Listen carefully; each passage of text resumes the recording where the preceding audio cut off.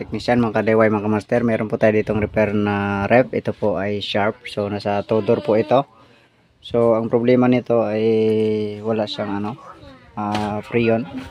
So, ito, bali, ah, separate natin. Niligtest muna natin. Separate natin yung kanyang high and low, yung kanyang condenser at saka evaporator. So, itong sa blue na to, ito yung sa evaporator. Itong sa pula, ito yung sa condenser niya so yung kanyang ang kinarga natin dito sa high sa condenser ay mahigit ano ah, 250 PSI yan so sobra 250 PSI yan. So dito naman sa kabila ay mga ano rin mga 65 ah 155 pala. 165 pala. Yan. Sa blue na yan. So di pa naman bumababa. So ngayon ah ang isa ang share ko talaga sa inyo dito ay kung paano mag repair ng kanyang ah, pintuan. Ah, yung ano yung bakal dito sa gilid. So ito sa ilalim kasi ay tanggal na. As in kinalawang na siya. Ayan So ito ang kanyang ano tinanggal natin. Ito. So wala tayong mahanap na medyo makapal. Makapal kasi ito eh. So wala tayong mahanap. Bale ito na lang makakita tayo ng yung takip yung ano ng TV, yung sa back casing niya. So medyo manipis lang siya. Kaya ang gagawin lang natin dito, mahirap po kasi na ano, So dapat kasi dito ay buo na mula doon sa ilalim. Tapos pa pilo dito, patupi dito.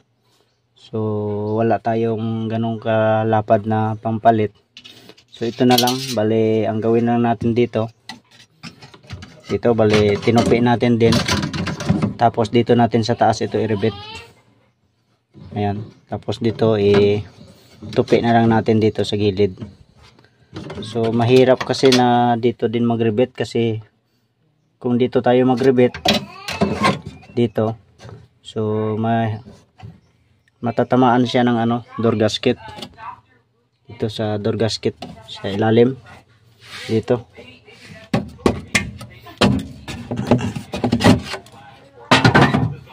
Yan so matatamaan siya ng door gasket niya.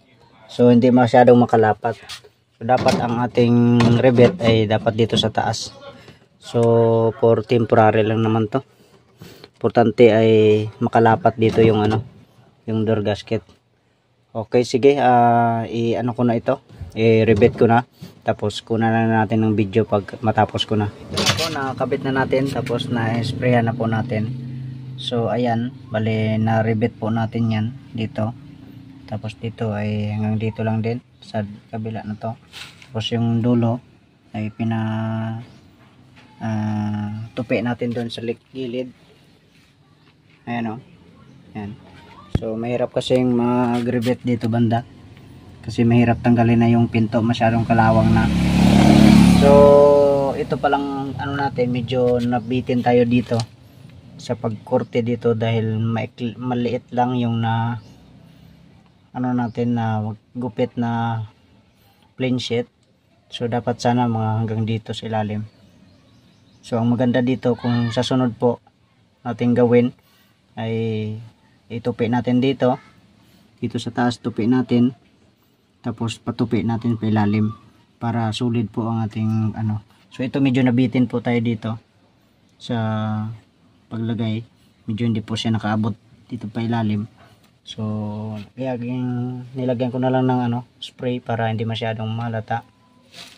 Tapos dito banda, so pwede naman kayo maglagay ng uh, masking tape para hindi masyadong para pantay ang ano kulay. Pero ayan lang inano ko, hindi ko na nilagyan para kasi ganun din naman. So, yan, so pwede na po yan. Pwede na to okay sige. So hanggang dito lang muna ang video natin. God bless po sa inyo lahat